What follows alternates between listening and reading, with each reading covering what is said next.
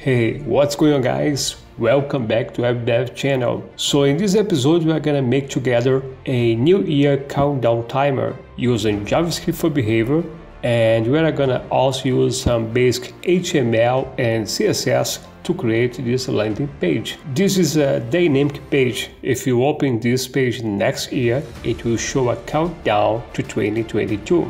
If you're new here, subscribe and click the little bell somewhere down below so you don't miss our weekly videos. Let's have fun.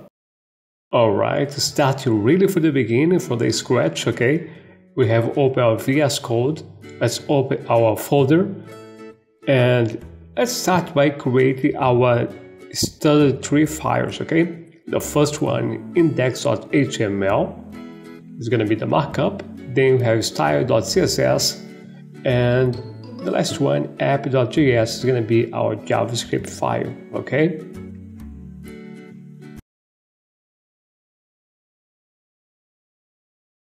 The main focus is going to be JavaScript, but let's start with our markup, all right? Uh, here on the title, let's say countdown timer, JavaScript, all right? Next, let's move to our link that's gonna connect our CSS to our markup. And down below here, close to the body, let's have our script app.js. In the body here, we're gonna have a h1 say Happy New Year, okay? This is gonna be outside of our div and then we're gonna have our, our main div that's gonna have an ID and also a class of countdown. The markup here is quite simple. It's basically four divs, one for days, another one for hours, and so on. Okay, so let's create this first one. And it's gonna have a h2. This one is gonna be hours. Okay, and uh, small say days all right all right let's open put them side by side. Let's see what we have so far okay? As you can see we have just the first div the new year countdown all we have to do now is duplicate this okay? And make a few changes. Let me just separate this one so you can see it better. This one is going to be for the hours okay? Let's change it down here too minutes all right and the last one here is going to be for the seconds all right let me type here seconds on this mode. we are now at the css where part of the magic happens okay we are gonna use Poppins, so I'm gonna grab that from Google Fonts. Okay, I'll leave the link down below in the video description. Alright. And next we are gonna use some type of CSS reset, okay? We're gonna set everything here to border box. Now let's start the body, okay?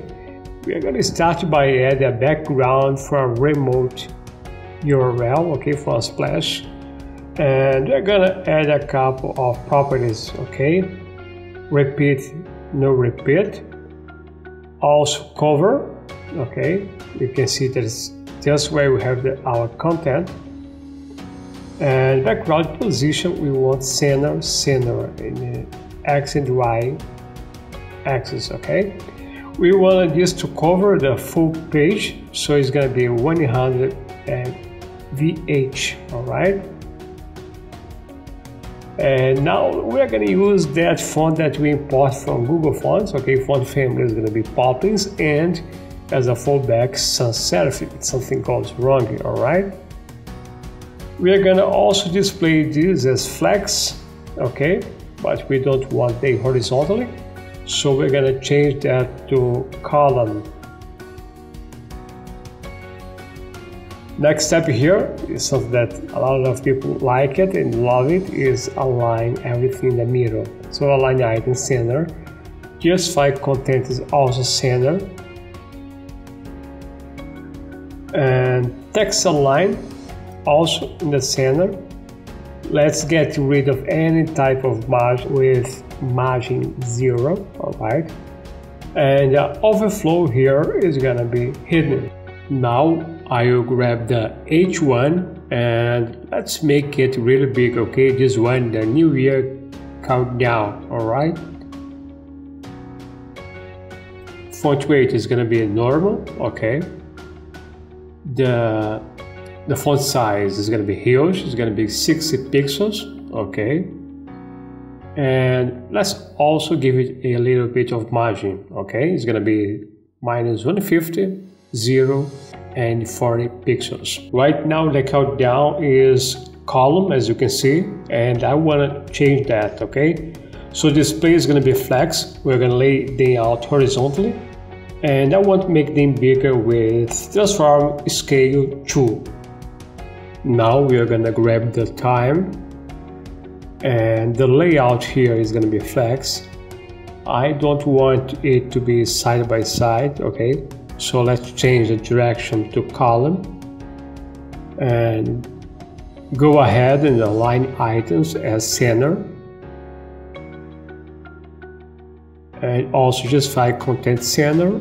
And let's also add a margin of 15 pixels okay?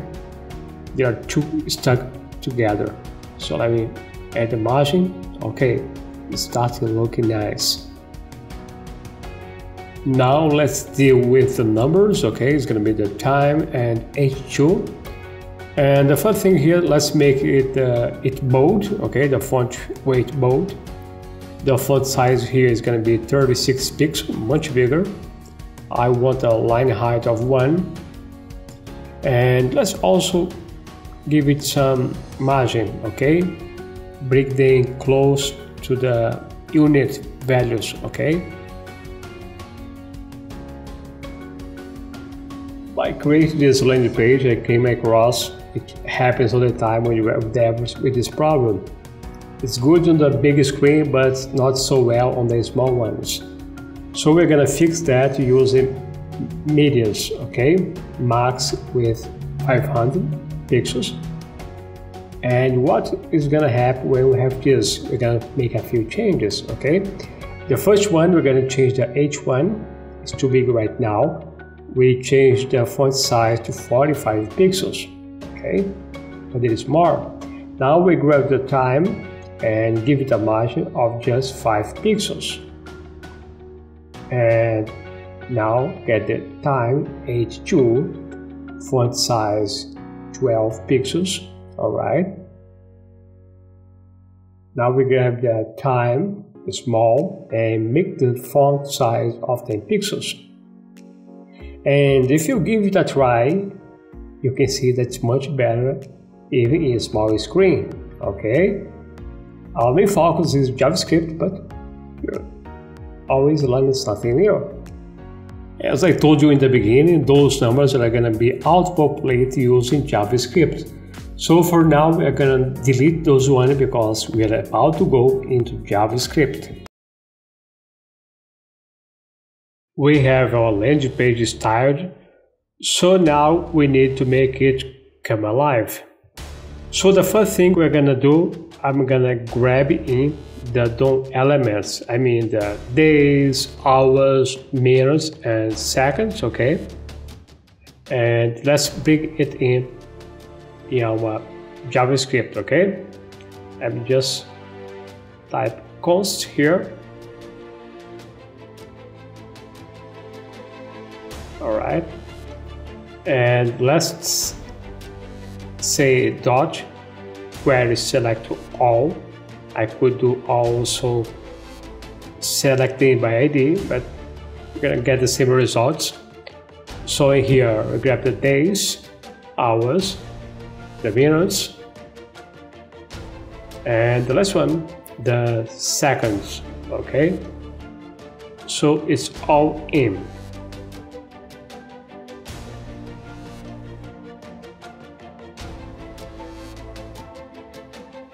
We need two things current year and second the year we're counting to okay? Let's create this one because new year date and let's uh, hard code the date okay? The January 1st and the year 221 the hour is to be zero zero.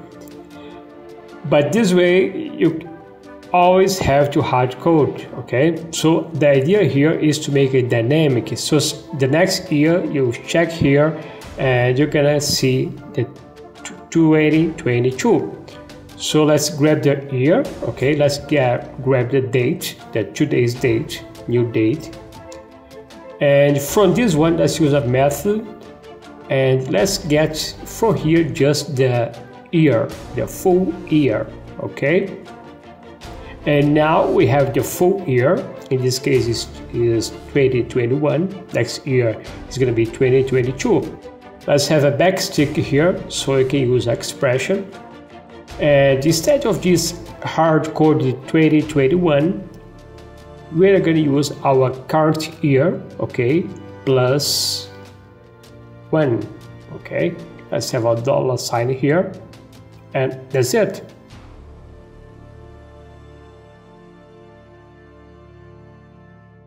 the next thing I'm gonna do is create a function okay? Let me call this countdown. Countdown timer okay? And in this function here countdown timer we are to make all the calculations okay?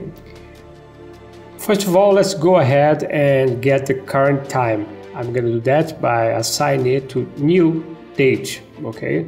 So we have the current time. Actually it's quite simple. What we want here is the difference between the new year or the date we are count down to okay this one.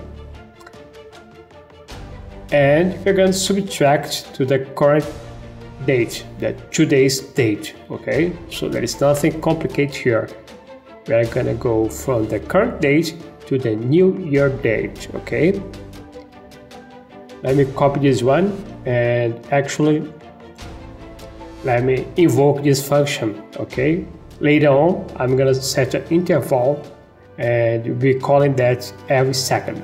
Let me console.log this difference here. And let's have our dev tools. And let me save here. And as you can see, we have the milliseconds from today until the new year. Okay, you get those in milliseconds.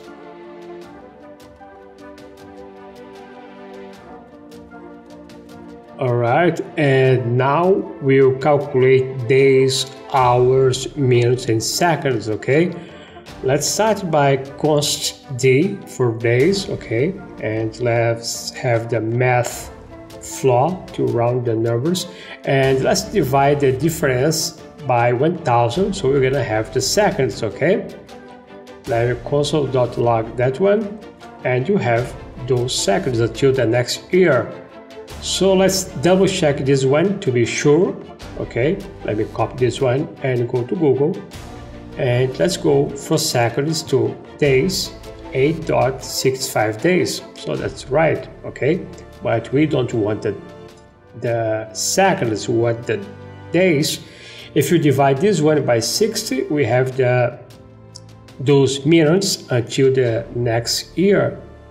Let me check it again. Let's copy this one and go from to Google. And let's check from minutes to days. And we have this 8.65 days, okay? If again we divide this one, guess what we have? We're gonna have the hours. Let me divide by 60. We have 207 hours. So let's go to the Google again and recheck this. Let's go hours to days and 207 days. Hours is going to be 8 days. But we want not hours but days, so I'm going to divide that one by 24. If I divide that by 24 now I have 8 days until the next year, alright? So now we want the minutes, okay? So let's change this to, to H and continue using math in floor. Let's just copy this one and let's take out this 24 because now we want the hours, okay? If you do this and you check, you see that something's wrong. Let me show you. H 207 hours, but you have to take in consideration that a couple of hours has passed already, okay? So you have to have the remainder of 24. And you see now we have a different number, we have 50 hours, okay?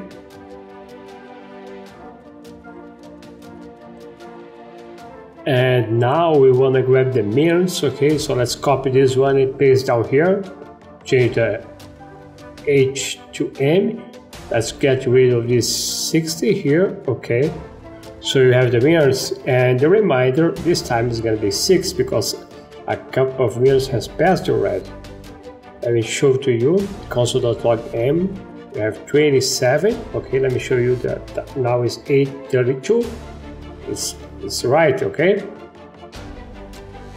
And let's move to the next one, okay? Now we're gonna have the seconds. Seconds is gonna be quite simple, okay? As you know, we have those one in milliseconds, so what I have to do is divide the milliseconds by 1000 and we have the seconds and the remainder of 60.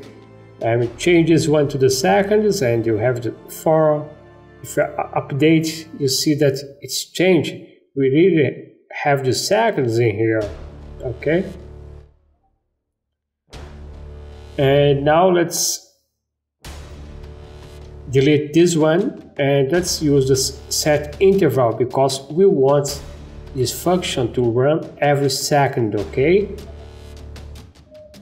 So let's set interval and let's have the name of the function that we want to run and the time. The time is going to be 1000 milliseconds. That's the same as one second, okay?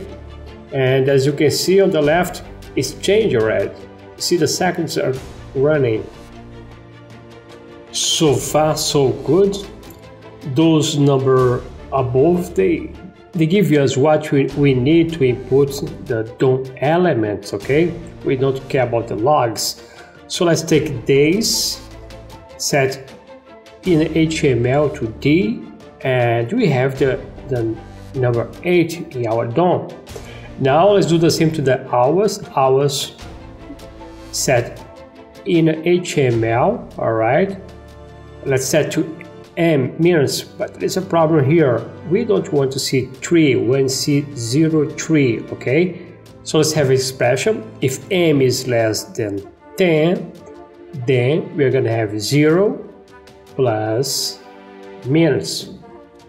Otherwise, you have just the minutes, okay? Let me save this and you have 0, 2. Let me just copy this and do the same here for the let me see here we, we are in the minutes now here is the hours okay. Hours let me change m to h all right. And let's do the same for the minutes okay. Let me type minutes all right we have 0 1 instead of 1 okay let me just copy this and do the same for the seconds. Seconds. And as here as as and we have our countdown using JavaScript